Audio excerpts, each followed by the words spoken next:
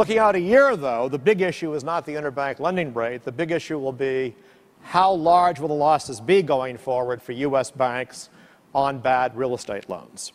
And the best estimates I can come up with are at least two or three hundred billion per annum for the next two or three years. And this could consume half of U.S. bank capital. So I think a big issue for the new American administration in January will be how do we protect the banks? I spoke at a conference yesterday with Paul Volcker in Florida. He publicly called upon the government to create a new organization like Resolution Trust, which we had to rescue the thrifts 20 years ago. This organization would basically buy hundreds of billions of dollars of mortgages off the banks, allowing them to get rid of high risk assets, sell them to the government, and the government would then work out a solution over time. Maybe the government would engage in a lot of forbearance, not have as many foreclosures and defaults as would be the case if the mortgages were still privately owned. We don't yet have a clear policy, a clear strategy for this institution. But Volcker felt this crisis is so unprecedented, so severe, we will need, in the year ahead, further government intervention. Another possibility would be for the government to invest directly in the banks. Japan had a big banking crisis eight or nine years ago. At that point, the government intervened by buying preferred stock from Japanese banks, injecting trillions of yen of capital onto their balance sheets to allow them to work off what was also a huge stock of non performing real estate loans. And now, eight or nine years later, Japanese banks are buying back this preferred stock, giving the government its money back. So, a further possible solution could be for the government to invest directly in American banks to guarantee they have adequate capital to cope with their losses, and so they won't have to go into default and into uh, receivership of the FDIC. In short, there's a great deal of debate now about the next stage of the crisis. It's too soon, I think, for the presidential candidates to have a clear view. I'd say, if anything, they were also overwhelmed by the events. John McCain has made some very populist comments overnight attacking Wall Street, greed and corruption. Obama's been very critical. But the reality is they haven't had time to work out a policy.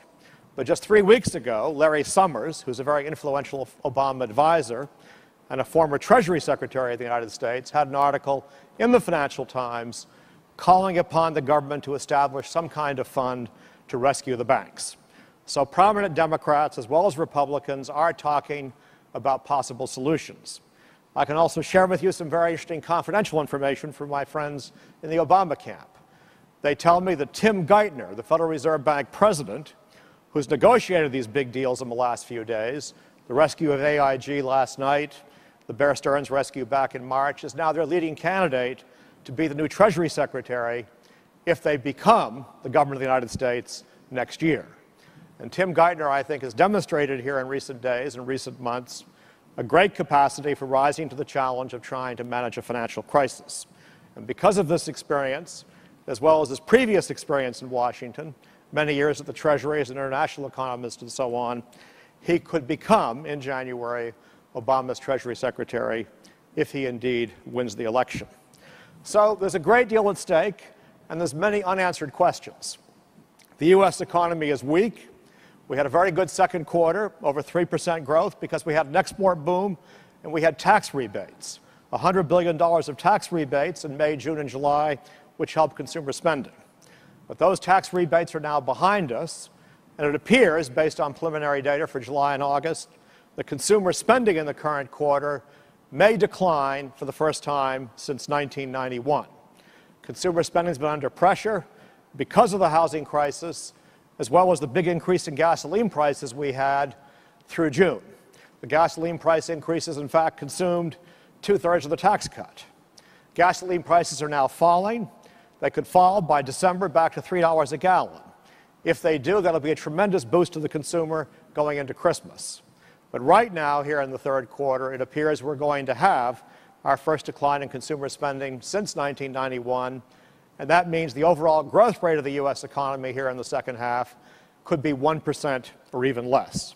In fact, I would not rule out the possibility here in the second half of a negative quarter. Well, the government two weeks ago nationalized Fannie Mae and Freddie Mac.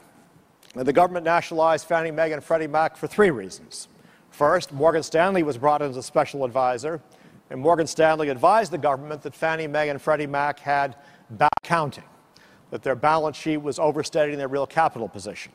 In fact, they didn't have as much capital as they claimed. Secondly, there was a great danger that foreign central banks might sell Fannie Mae and Freddie Mac securities because of fear about default. And foreign central banks over, own over a trillion dollars of these securities, so had they sold out, that could have had a very adverse effect on the American dollar. And thirdly, the government allowed Fannie Mae and Freddie Mac back in February to lower their capital ratios to significantly expand their mortgage lending to help support the housing market. And because of all the turmoil we had this summer and their collapse in the share price, Fannie Mae and Freddie Mac were curtailing their lending in the month of July. The government, now that it's taken over, will try and use Fannie Mae and Freddie Mac to bolster the housing market by increasing the lending. And in the last 10 days, mortgage rates in the U.S. have fallen 50 basis points because of this intervention. The Fannie Mae conforming mortgage rate has come down from 6.4 to 5.9. And yesterday, for the first time in several months, we had a survey of home builders that was a little bit optimistic. This tells us we may be close to finding a bottom in the housing market over the next three or four months. But because of what's happened to LIBOR in the last two days, we now have a new financial shock that may, in fact, partly offset this change with Fannie Mae and could have a very, very adverse effect on 6 million people who've got variable rate mortgages where yields could rise. So we still have tension here. We still have problems. But the government goal in nationalizing Fannie Mae and Freddie Mac last week was to make sure it will play an effective role in trying to support the housing market. So once we get past this LIBOR crisis, this could be a positive for the housing market over the next three or four months. But because we have a large supply of unsold homes in the millions, because we've now got half the home sales in California tied to foreclosures, the same is true also in Florida, Nevada, and Arizona, the fact is we still have excesses from the old cycle we have to work off. And therefore, the Chicago futures market for house prices is projecting in the year ahead house prices could fall a further 9 or 10 percent. And that would mean that by the end of next year, our national house price index would be down 26, 27 percent.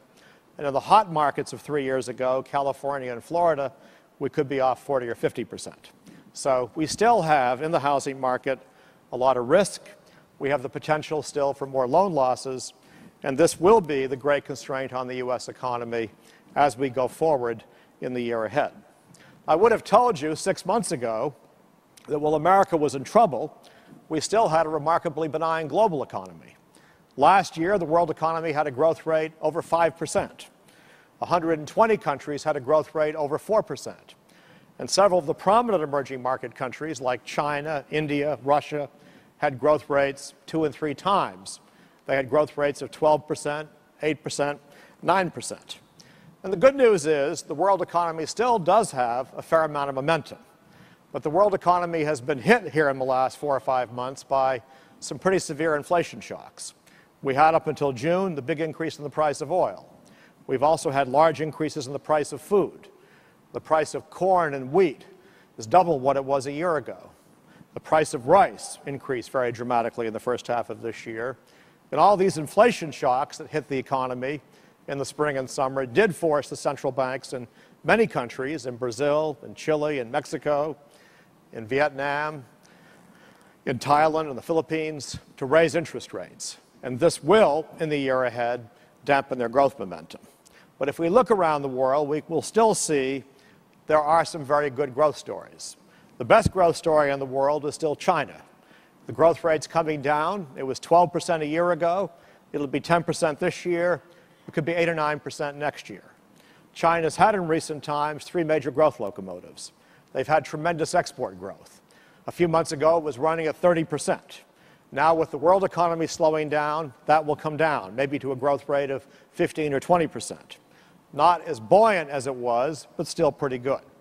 And China's emerged as a great, successful exporting nation because of China's ability to attract large amounts of foreign direct investment. Over the last 12 years, China's gotten over $700 billion of FDI, and the foreign firms go to China not just to sell for the local market, they go to China to use it as a global assembly point in their global manufacturing operations. 60% of China's exports are produced by foreign companies. Only 20% of the value added of Chinese exports accrues to Chinese companies. The other 80% goes to component suppliers in Malaysia, Singapore, Korea, Taiwan, Japan, who are the big, big suppliers to China of all the components and all the parts they need to produce finished goods for the marketplace here in North America and Europe. China's second great growth locomotive has been capital spending. They've had a tremendous boom, not just in manufacturing, but in infrastructure investment. China is urbanizing now at the rate of 10 or 15 billion people every year. This means they have to build New York City every 12 months to accommodate the population flows. That's why China is now the dominant consumer of most commodities. China now produces half the world's cement. It consumes 30% of global copper output, the US only 15.